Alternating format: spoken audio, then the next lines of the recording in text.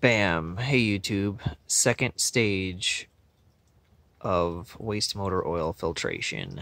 Toddler pants, blue jeans, no holes, light wear, zip tied to a one and a half liter container with holes in it, zip ties, zip tied the bottom shut. And uh, this is already one filtered through adult blue jeans and it is uh, filtering significantly faster now through the toddler blue jeans.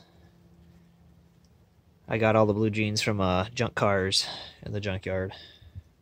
Waste motor oil from uh, semi service.